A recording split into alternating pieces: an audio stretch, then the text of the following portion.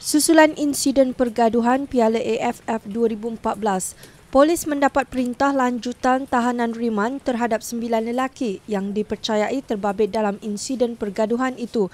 Lima suspek disambun reman masing-masing selama tiga hari, manakala reman bagi empat lagi suspek disambung dua hari. Lanjutan tahanan reman itu dimohon polis bagi membolehkan siasatan lanjut dijalankan terhadap semua suspek.